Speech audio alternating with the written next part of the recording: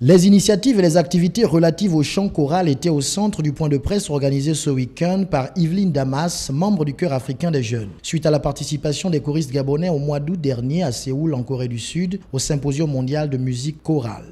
Nous avons voulu organiser ce point de presse pour vous parler des initiatives et activités relatives au chant choral auxquelles nos choristes participent en faisant honneur aussi bien au Gabon qu'à l'Afrique et parler plus particulièrement du Chœur africain des jeunes et de sa récente participation au symposium mondial de musique chorale qui s'est tenu à Séoul au mois d'août dernier. Il faut noter que le Gabon a toujours été absent à ce genre de rendez-vous en dépit de son potentiel dans ce domaine. C'est une idée gabonaise. Il faut, il faut rendre à César ce qui est à César.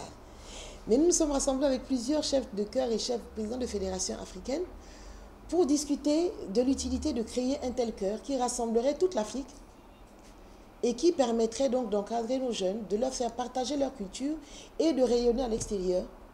À travers le chant choral, le chœur africain des jeunes partage les valeurs de l'UNESCO et sa foi en la musique pour rendre le monde meilleur. La musique chorale peut être un facteur de développement.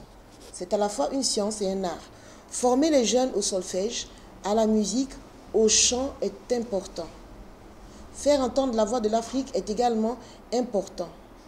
Le fait d'écouter un répertoire interprété par certains des meilleurs chœurs au monde constitue un challenge pour les chefs de chœur qui désirent acquérir un niveau artistique plus élevé, d'où la nécessité de prendre part à ce type d'événement mondial.